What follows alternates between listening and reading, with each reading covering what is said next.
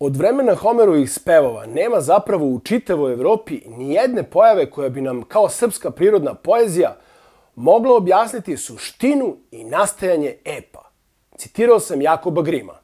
Ovo je priča o velikom nemačkom naučniku Jakobu Grimu i Srbima. Ovo je neispričana priča, izgubljena u prevodu, baš kao u istoimenom hollywoodskom filmu Lost in Translation.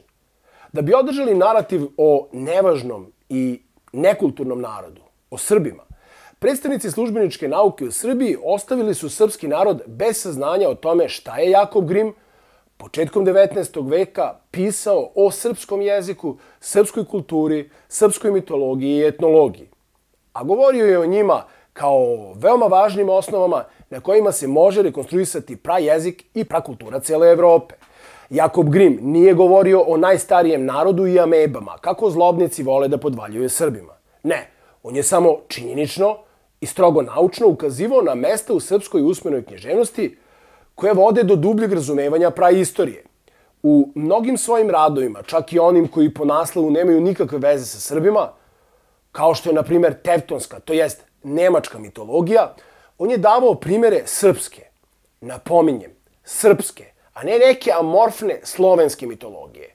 A naši vrli naučnici do današnjeg dana nisu preveli praktično ništa Grimovo, jer Srbi ne smeju da znaju kako je veliki nemački naučnik, osnivač moderne filološke nauke, video i predstavljao naš narod početkom 19. veka. U Srbiji se do danas izdaju petparačke knjige o nekakvom slovenskom panteonu bogova, lupetanja bez mozga i bez ikakvih činjeničnih osnova. Ti ponavljači, koji se zovu naučnici, prepisuju jedni od drugih samo da bi se nešto zvalo citatom.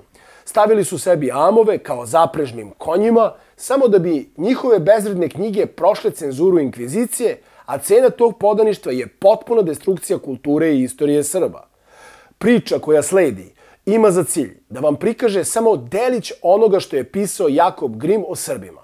A Grim je zapravo bio čovek koji je Vuka Karadžića naterao na sakupljački rad jer su njemu, Grimu, srpske pesme, priče, skaske, basne i bajke bile od najveće važnosti. Krećemo. Ukoliko vam se sviđa emisija Srbija Global, pozivam vas da se subscribe-ujete, odnosno potpišete i pritisnete zvonce, jer je to jedini siguran način da dobijete informacije o našim novim emisijama. Kako i zašto je uopšte došlo do Grimovog interesovanja za Srbe?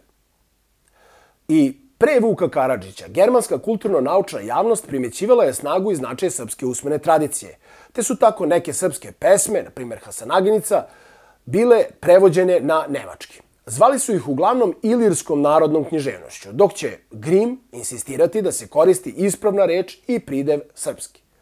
Evropa toga doba težila je stvaranju nacionalnih država i rušenju multinacionalnih carstava, pa je u svetlu toga došlo do interesovanja za narodno i etničko stvarala se zapravo nova duhovnost Evrope zasnovana na starini, na praistoriji, na pradavnim mitovima. A Grim je, analizirajući neke prevode srpskih pesama, momentalno shvatio da je srpski jezik korenski jezik, te da dublja analiza jezika i stihova naših pesama otkriva direktan put ka praiskonu.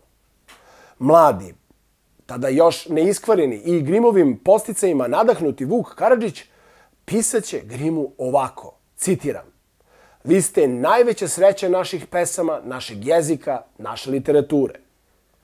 O Grimu će Vuk napisati i ovo, citiram, Neka mu Bog plati za sve što čini za srpsku kulturu. Završen citat. Zašto je Karadžić tako pisao Grimu i o Grimu? Na čemu mu se to Vuk zahvaljivao? Zašto srpska deca ovo danas ne znaju, već Grima znaju samo po svetskim bajkama koje je sakupio, priredio i napisao. Zašto mi ne znamo za stavove nemačkih naučnika 19. veka u kojima se kaže da je srpska poezija imala ključnu ulogu u stvaranju pojma svetska književnost, te da je Gete prvi put upotrebio pojam Welt poeziji, svetska poezija, govorići i pišući baš o srpskoj poeziji. A o čemu će naravno biti reči u ovoj emisiji? Zašto mi ne znamo da je Grim srpske slepe pevače video kao jednake Homeru i antičkim Avedima? Zašto ne znamo da je Grim 130 godina pre otkrića Lepenskog vira uvideo da se u srpskoj pesmi Zidanje skadra kriju najstarija ljudska preistorijska verovanja? zašto Srbija danas nema institut za proučavanje srpske mitologije, narodnih običaja i jezika koji bi nosio ime Jakob Grim. Danas, kada se čini da srpski narod, umoran i star, silazi sa istorijske scene. Dakle, danas, da li je baš danas pravo vreme za novo vaskrsenje umetničke i ljudske poruke srpske epike i mitologije kroz neke nove forme umetnosti, kao što su pre svega film i kompjuterske igre? Znamo li mi danas da srpska mitologija spakovana u srpsku usmenu književnost višestruko prevazilazi estetiku epske fantastike Tolkiena ili gospodara prstenova, koja je u ostalom svoje izvore, što je manje poznato, nalazila i u našoj epici. Doktor Miljan Mojašević praktično je jedini priređivač takvog, e, kakvog takvog uvida u Grimov odnos prema Srbima, srpskom jeziku i srpskoj epici. Doktor Mojašević kaže da se Vuk Grimu zapravo zahvaljivao za ogroman trud koji je uložio tokom prevođenja srpske gramatike. A Grim je uložio vanredan trud da nauči suštinu i bit, dakle, suštinu srpskog jezika. Kako Mojašević prenosi, Grim je srpski jezik video kao divlji i božanski, pra početku bliski, dok je nemački smatrao išlifovanim, to je Grimova konstrukcija, učenim, čime je opisivao činjenicu da je nemački jezik isekao svoju pupčenu vrpcu sa prajezikom Evrope.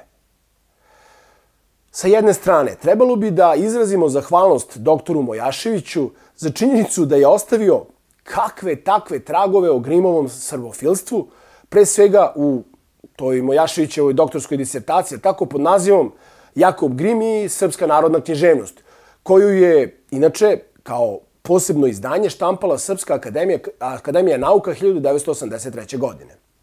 Međutim, već i površan uvid u Mojaševićev rad pokazat će nam sasvim drugačije lice, to jest naličje njegovog rada.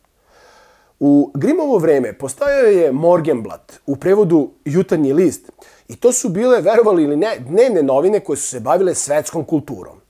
Upravo zahvaljujući Grimu, u njima će od jednog momenta svoje mesto zauzeti i srpska kultura.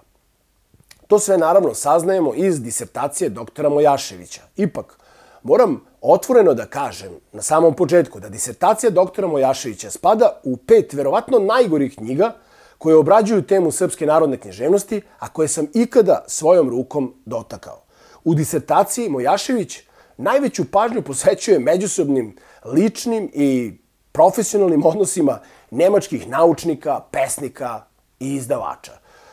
Činilo mi se u nekom trenutku da pred sobom imam u najboljem slučaju spomenar, a u najgorem nekakav neuspešni tabloid u kome autor više vremena posećuje, na primjer, odnosu Grima i Šlegela, nego bilo kom motivu srpske narodne epike ili mitologije. Preko svega toga, Mojašević, očigledno rešen tada da zadovolji partijski komunistički komitet, daje sebi za pravo da ispravlja Grima, Getea, Vuka i Šteiha Đuture, govoreći da bi umesto pojma srpska književnost, koji su oni koristili, trebalo koristiti pojam srpsko-hrvatska. Citiram Mojaševića. Evo što je rekao. Srpsko-hrvatska. Mi ćemo se za razliku od Grima, Getea, Karadžića i Štriha služiti i ovim širim nazivom. Srpsko-hrvatski. umjesto srpski. To kaže na svojoj 30, 348. stranici doktorske disertacije. Mojašević se skoro pa sprda sa jednim od najvažnijih uvida Jakoba Grima, a to je činjenica da su srpsku usmenu književnost kazivali isključivo slepi ljudi, slepci. On nam tako daje sugestiju da su slepi pevači, na primjer Filip Višnjić kod Srba, slučajnost, koja je dobro legla Grimu kako bi upotpunio svoja poređenja srpske epike sa Homerom i Homerovom epikom kao eto, Grimu palo na pamet da srpsku epiku poredi sa Ilijadom i Odisejom, pa mu dobro došlo da izmisli veđu, vezu između Filipa Višnjića i Homera. A istina je zapravo da se pojam slepac u 19. veku kod Srba odnosio na slepe pevače narodnih pesama, pa se tako pisalo i raspravljalo, na primjer, uh, po kakvoj vrsti pevanja se razlikuju, na primjer, sremski od hercegovačkih slepaca, Pevanje herojskih pesama uz gusle bio je religiozni čin gvozdenodopskog porekla. Gusle su pravljene isključivo od javora, baš onako kako se kod Srba i danas prave, jer se verovalo da se preko ovog drveta najlakše uspostavlja veza sa precima. Slep čovek, baš kao i boginja pravde Justicija, koji su vezane oči, treba da vidi duhovnim vidom. Slepac treba da veda, da poveda, pripoveda vede, da peva duhom istine i znanja, koje nije razumsko znanje, već je znanje od Boga, uvidsko, to jest vedsko. Za razumsko su potrebne oči, za duhovno je potreban duhovni vid, što je bio osnov starosrpskog verovanja da je vid osnovna osobina Boga. Grim je odmah shvatio da su srpski slepi pevači zapravo svi do jednog Homeri, a Homer je, kako smatra zvanična nauka, bio slepi pevač. U homersko vreme pevali su isključivo slepi pevači, koji su se nazivali avedi. Aved je negacija od ved, odnosno vid. Kasnije je u procesu gubljenja digame izgubljen glas V, pa je reč aved izgovarana kao aed. A iz ove reči je kasnim transformacijama nastala poznata reč oda i nazivi kao što su Oda radosti, na primjer, danas. Umjesto da ovo objasni u svojoj disertaciji, doktor Mojašević sa nepoverenjem prihvata Grimov uvid u činjenicu da je Filip Višnjić bukvalna i doslovna slika Homera u 19. veku.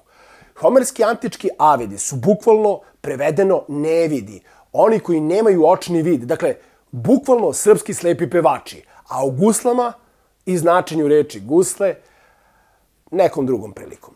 Grim je bio svestan da se prakultura Evrope, pa samim time i germanska, ne može rekonstruisati bez uvida u srpsku. Te zato i ne čudi što u prikazu iz 1825. godine kaže, citiram, od vremena Homerovih spevova nema zapravo u čitavoj Evropi ni jedne pojave koja bi nam kao srpska prirodna poezija mogla objasniti suštinu i nastajanje epa. Kada govorimo o lepenskom viru, na primjer i potvrdama u našoj poeziji lepenskog vira, povezat ćemo ih odmah sada sa Grimom. On je posebno bio zadivljen motivom uziđivanja ljudskih kostiju u pesmi Zidanje skadra. Bio je svestan da se radi o najstarijim animističkim verovanjima.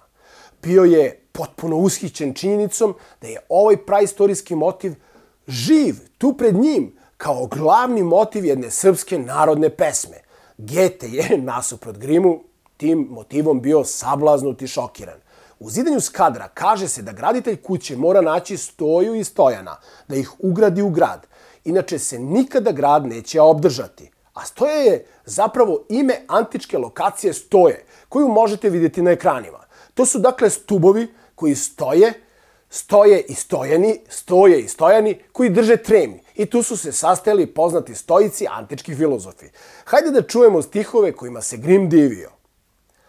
Tada viče sa planine vila, ne muči se Vukašine kralje, ne muči se i ne arči blaga, ne moš kralje temelj podignuti, a kamoli sagraditi grada, dok ne nađeš dva slična imena, dok ne nađeš stoju i stojana, a oboje brata i sestricu, da zazidaš kuliju temelja, tako će se temelj obdržati i tako ćeš sagraditi grada.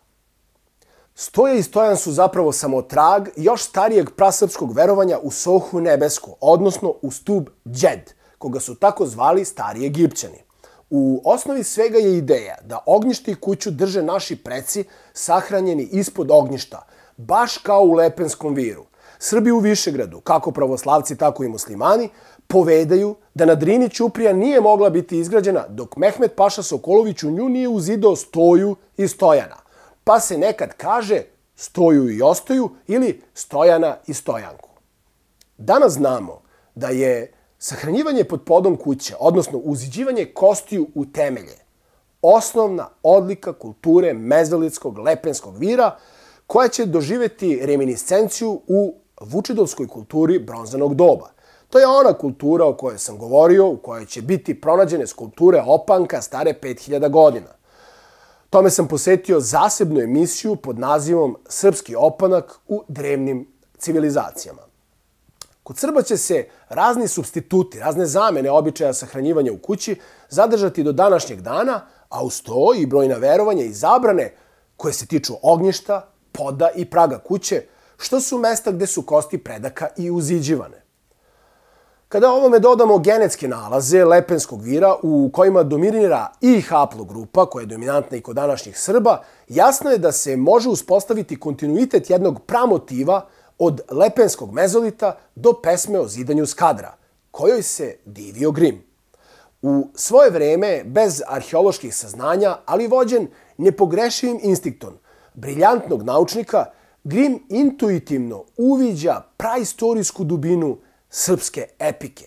Knjige Srpski pogled na svet, nije bilo seobe Srba na Balkan, kao i praistorija Srba, možete naručiti mailom srpskaprodavnica.gmail.com. Cene knjiga vidite na ekranu, a knjige se šalju post ekspresom. Jakob Grim, već od prvih prevoda srpskih pesama koje je prikupio Vuk Karadžić, uviđa da srpski epski jezik jeste zapravo neprevodiv na savremeni nemački. Grim je inače bio sledbenik kratilizma, jedinog smislenog pogleda na jezik koji se vezuje za Platonovo delo kratil. Ovaj pogled polazi od teze da su zvuk i značenje u direktnoj vezi. Pa, na primjer, zato L, glas, označava ono što je glatko, sklisko, kao što je, na primjer, led, L, led, dok R označava ono što se runi, ruši, tare, troši. Međutim, u srpskom jeziku grima su posebno očarali očuvani koreni reči koji imaju univerzalnu upotrebu. On posebno polemiše sa stihom grad, gradila, koji se ne može prevesti na nemački, a da očuva tu vrstu izvornosti, da i objekat i predikat budu zapravo ista reč u osnovi. Stoga se on vraća na srednjevekovni nemački jezik 10. veka, tražeći tamo izvore koji mogu potvrditi da je nekada i nemački jezik čuvao tu vrstu izvorne genijalnosti.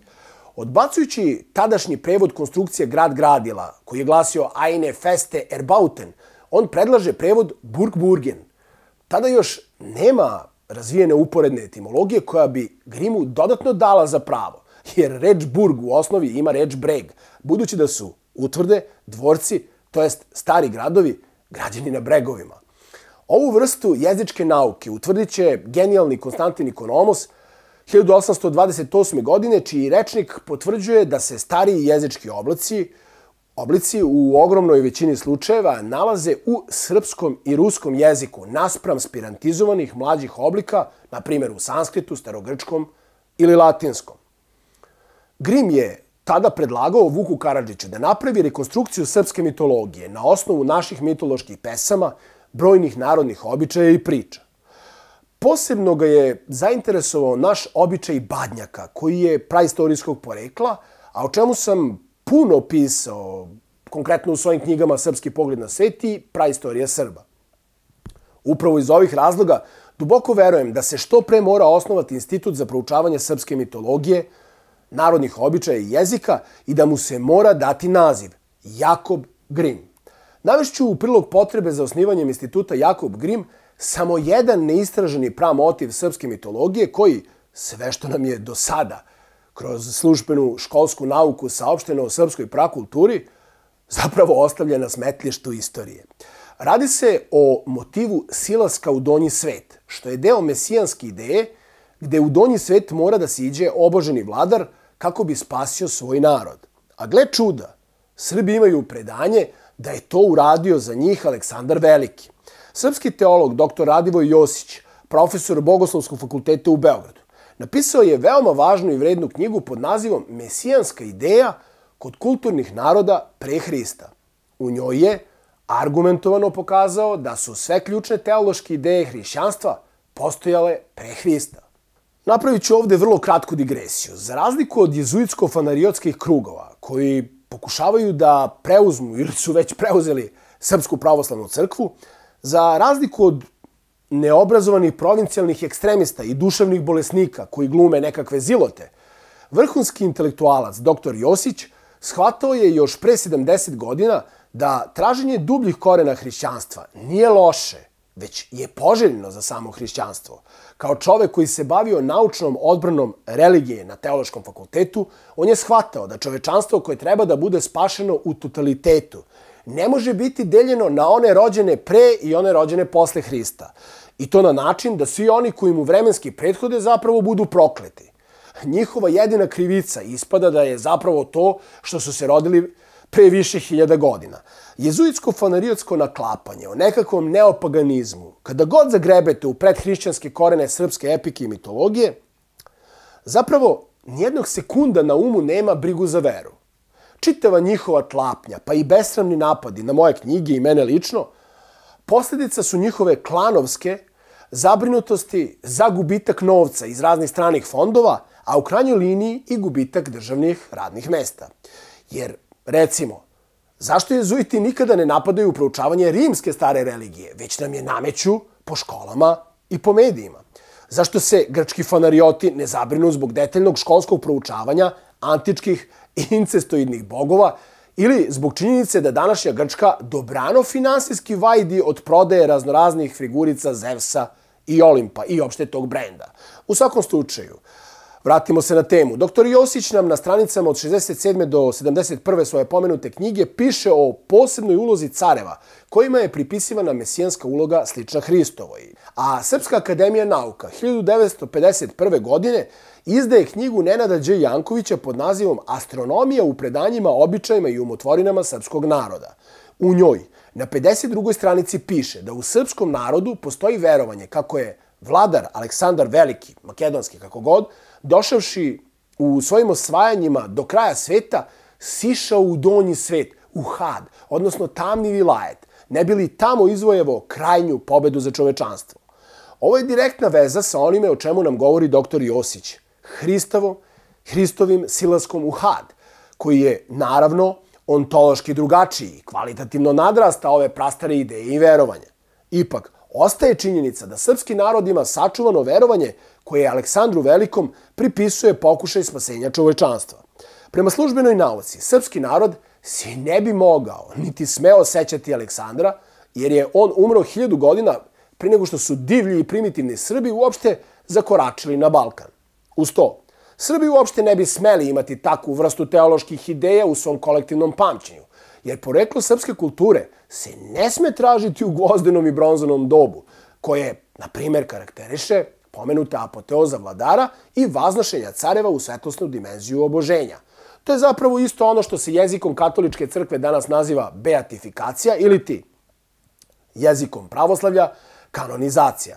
Prema istorijskim podacima, apoteoza Aleksandra Velikog, makedonskog kako god, izvršena je nakon njegove smrti 323. godine pre nove ere, a na jednom od zlatnih artefakata prikazan je kao div Amon, to jest kao svetac današnjim rečnikom rečeno. Dakle, institut Jakob Grim bi, ako ikada bude bio osnovan, trebalo da se bavi činjenicom da Srbi pamte apoteozu Aleksandra Velikog koja se dogodila pre 2350 godina. Da stvar po službenu nauku bude još gora. Predivna srpska narodna pripovetka o Kravarić Marku donosi nam priču o još jednom silasku u had, u mračno pozemlje i borbu sa tamošnjim silama. Ova epska saga koja dok je čitate stvara slike, življe i lepše od onih iz najmodernijih filmova epske fantastike, priča nam zapravo o neolitskom kultu bika, vola. Jer Kravarić Marko je neko koga zapravo odgaja krava, sa kojom je on u mističnoj vezi, a iz čega proishodi njegova divovska nadljudska snaga. Arheologija nam je potvrdila da u Neolitu, a to su kulture Starčeva i Vinče, nije bilo niti jedne kuće koja na centralnom mestu nije imala volovske rogove ili čak celu glavu bika. U pripovesti e, Kravarić Marko prisutan je i motiv neolitske velike majke personifikovan u vidu babe koja deli tajne mistične savete. Priča o silasku u svet smrti vraća nas i na epo Gilgamešu, koji opisujući događaje stare 4700 godina donosi pregršt etnoloških motiva sličnih srpskim, a između ostalog i pokušaj spasavanja ljudskog roda od smrtnosti, to jest odlaza glavnog junaka u svet mrtvih kako bi tamo pronašao lek za izbavljenje od umiranja. Poreklo Kravarić Marka se zbog jasne simbolike vola kao neolitskog divovskog principa mora na vremenskoj liniji smestiti mnogo pre Aleksandra Makedonskog, verovatno i mnogo pre Gilgameša, koji predstavlja bronzano doba. Zapisani ostaci srpske kulture čuvaju kontinuitet praistorijskih verovanja od najdubljih mezolitskih i neolitskih slojeva pa sve do antike i Aleksandra Velikog. To delo je sasvim logično ako kao relevantne uzmemo one istorijske izvore pisane koji Srbe nazivaju tribalima, gvozdenodopskim plemenom Balkana. Jer tribali su ratovali i protiv, ali i zajedno sa Aleksandrom, sa kojim su došli do kraja sveta, po znacima navoda naravno, čak do Indije. Zato nam je potreban institut Jakob Grimm. Vratimo se sada na osnovnu temu, a to je odnos ne samo Grima, već i Getea i drugih nemačkih naučnika 19. veka prema drevnosti i važnosti srpskog jezika i kulture za svetsku filološku i etnološku nauku. U već citiranoj doktorskoj disertaciji doktora, Mojaši, doktora Mojašić na 348. stranici ostavlja izuzetno važno svedočanstvo govoreći o Fricu Štrihu i njegovom delu Gete i svetska književnost. Iz njega saznajemo da je Gete pojam svetska poezija skovao zahvaljujući uvidima u srpsku poeziju. Citiram.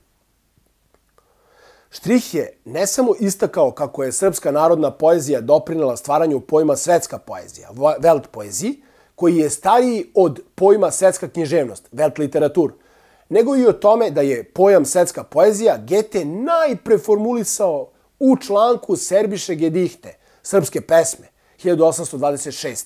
Jer srpske pesme su najviše učinile da se kod Getea učesti ubeđenje da postoji jedna opšta svetska poezija u svojim dubinama svima zajednička. Završen citat. Štrih promišlja o Geteovim uvidima u dubinu i osnovu prapoezije Evrope, podlačeći da i Gete nalazi u srpskoj poeziji. Međutim, Gete će dubine srpske književnosti shvatiti tek preko Jakoba Grima, kojemu je na to uporno ukazivao. Gete jeste prevodio Hasanaginicu pre pojave Vuka Karadžića i pre nego što se Grim uopšte zainteresovao za Srbe. Ali i sam Mojašević u disertaciji zaključuje da nema nikakve dileme da je Gete tek preko Grima shvatio pravi značaj proučavanja srpskog nasleđa. Biću slobodan zato da konstatujem da se Gete mnogo površnije bavio problemom korena i prapočetka književnosti od, na primjer, Jakoba Grima. To je donekle logično, jer je Gete kao liričar bio okrenut gotovo isključivo estetskom doživljaju, dok je Grim ponirao u dubinu mitova i dubinu jezika.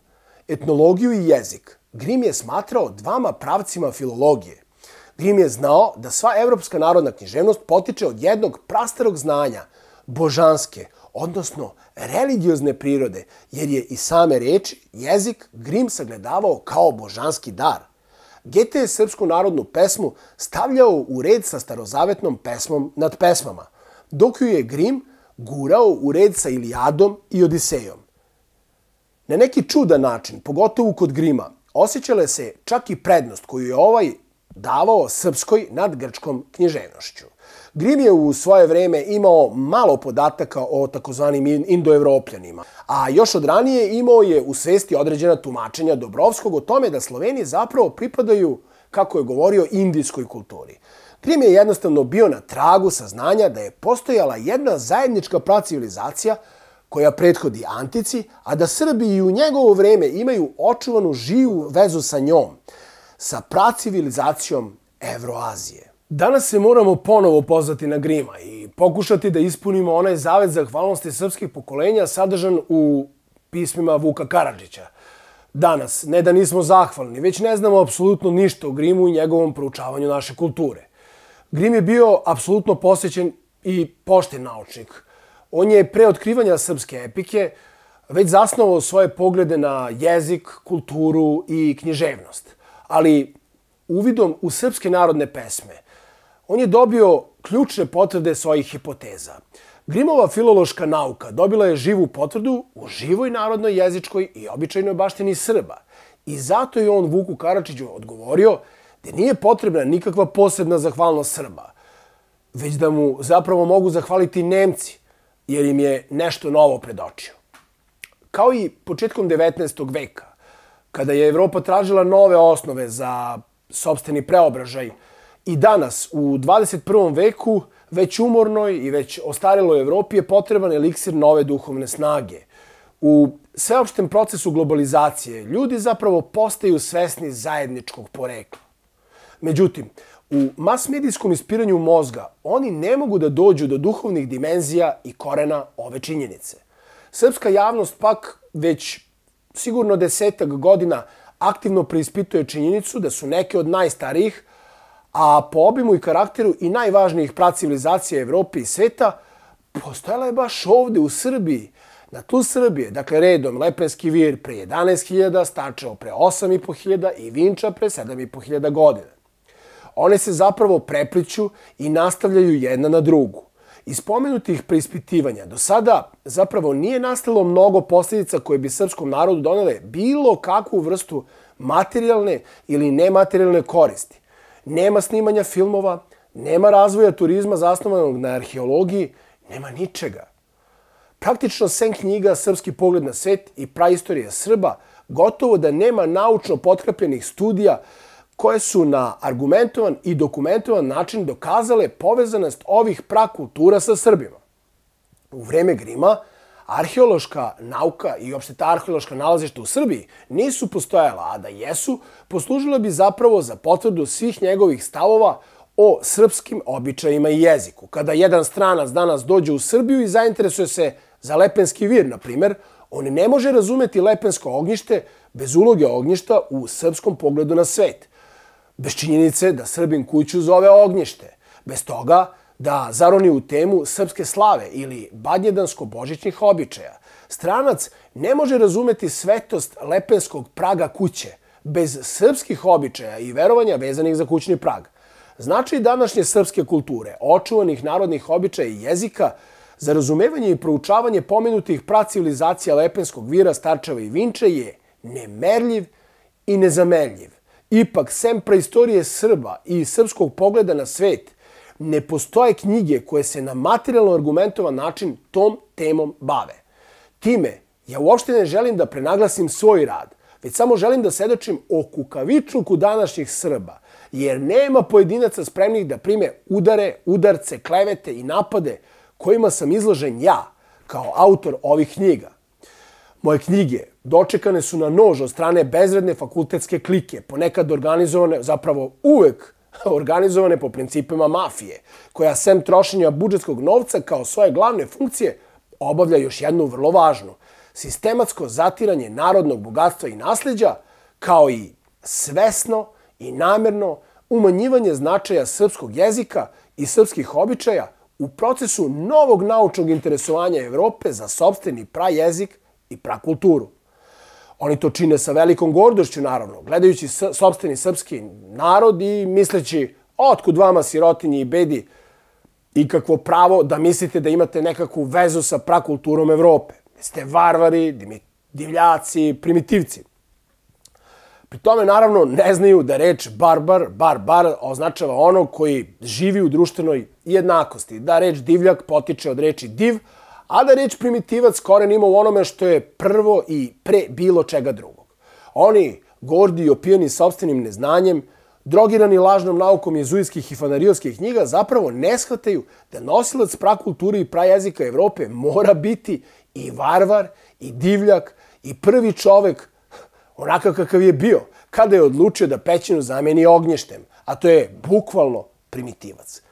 Suprotno ovoj nakaznoj grupi glupana sa diplomom, veliki Jakob Grim početkom 19. veka grozničavo je tražio pesme starih evropskih naroda, sedočanstvao njihovim primitivnim divljačkim običajima i divio se njihovom divljaštvu, njihovoj izdvornosti. Divio se kako je duboko verovo i govorio o njihovoj najbližoj vezi sa božanskim, sa onime što smo kao najizvornije znanje dobili od Boga. Kao jedno od najvažnijih znanja božanskog porekla, Grim je navodio pre svega jezik. Što se tiče starih evropskih jezika, posebno, najposebnije mesto u Grimovom poreklu stvari zauzimao je srpski jezik. Bez ikakve sumnje. Srbi se ne mogu vratiti sebi bez dubokog preispitivanja onih slojeve sobstvene kulture na koje im je ukazao Jakob Grim. Srbi su sebi izgubili u toj ropskoj školskoj nauci koja im je nametnuta tokom 19. i 20. veka, kada su imperialističke sile naravno stvarale svoje kolonizatorske naučne sisteme. U toj lažnoj nauci i Evropa je izgubila samu sebe. Lažući druge, Evropa je na kraju obmanula samu sebe smisao i koren reči evropskih jezika sagledani kroz srpski ključ, onda kultura stare Atine, recimo i drugih polisa, onda minojska kultura, slojevi hananske, hetitske i egipatske kulture, također sagledani kroz slojeve srpske prakulture. To treba da budu neki od ključnih zadataka instituta Jakob Grimm. Prakultura evroazijskog prostora i Mediterana e, – u mnogome se može sagledati kroz, na primjer, žive običajne i kalendarske manifestacije kakvi su današnji kalendarski običaji Srba. uz proučavanje, popularizaciju i ekranizaciju sačuvanih narodnih pesama, bajki, basni, izreka i skaski, Srbi mogu pomoći prvo sebi, a onda i Evropi, da opet pronađe svoj identitet, svoje univerzalno sobstvo. Od suštinskog značaja bi bilo da se svi zapisi Jakoba Grima o Srbima prevedu i daju na uvid pre svega našoj javnosti, a tek onda svetskoj. Zatim je važno postaći rad na svim onim punktovima srpske kulture koje je obeležio Grim. Institut Jakob Grim nam je danas potrebniji nego što je sam Grim bio potreban Srbima početkom 19. veka kada su se borili za svoju slobodu od Turaka. Sa druge strane, naša izvorna prakultura potrebna je mislećim i slobodoljubivim ljudima u Evropi baš onoliko koliko je bila potrebna Grimu, tada, početkom 19. veka. Grim je u njoj nalazio dokaze o jedinstvenom jeziku i praje po Evrope, a današnja Evropa kroz nju može razumeti da smo nekada bili jedno, ali na potpuno drugačijim osnovama od onih osnova koje proklamuje današnji globalistički establishment. Na ovom poslu osnivanja i organizacije instituta trebalo je da se u prethodnih 100 godina angažuje država. Danas moramo da konstatujemo da od toga nije bilo i neće biti nikakvoga izgleda. Stoga moramo da uzmemo stvari u svoje ruke i da makar na neki simboličan način pokrenemo stvari sa mrtve tačke. Ova emisija približila je samo deliće onoga što je Grimm pisao, mislio i govorio o izvornosti i drevnosti srpskog jezika i narodne epike. Da bismo imali kompletan uvid, potrebno je, kao što sam rekao, da se 160 godina nakon smrti Jakoba Grima prevede sabere i srpskoj i svetskoj javnosti da na uvid taj zlatni ram srpskog pogleda na svet. Taj zlatni ram srpske kulture jesu Grimove reči, Grimovi prikazi i uvidi o nama. Knjige Aleksandra Šargića promenile su pogled na srpsku istoriju i etnologiju. Knjige Nije bilo seobe Srba na Balkan, Srpski pogled na svet i praistorija Srba pružaju niz kritičkih dokaza koji pobijaju laži o našem poreklu, starosti srpskog jezika i običaja i daju realnu sliku istorijskih izvora umjesto nametnute paradigme o narodu bez korena. Knjige se naručuju putem maila srpska prodavnica gmail.com. Cene knjiga možete vidjeti na vašim ekranima, a na mail je potrebno poslati ime, prezime, adresu, grad i kontakt telefon, jer se knjige šalju post ekspresom.